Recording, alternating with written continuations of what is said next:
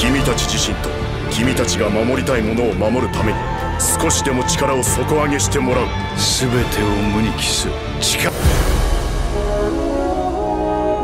戦いは避けられなくてもその奥にあるものを無視はしたくない。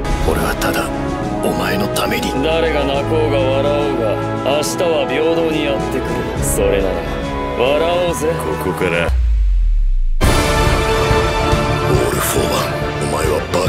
したよ。このクラスは強いぞ。マスターが困ってる。二の足を踏む理由がどこにあるのさ。みんなで取り戻すんだ。必ず止めよう。